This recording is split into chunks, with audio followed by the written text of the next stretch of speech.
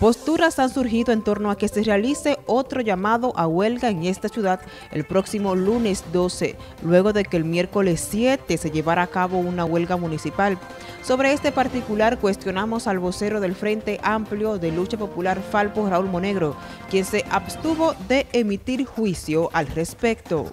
Bueno, nosotros no somos convocantes al paro que se está haciendo para la próxima semana.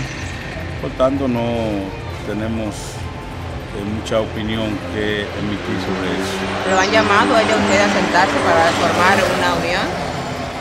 Nosotros no somos convocantes cuando no, eh, o sea, no hemos participado en ninguna reunión, ninguna asamblea, ninguna actividad de preparación hacia ese movimiento.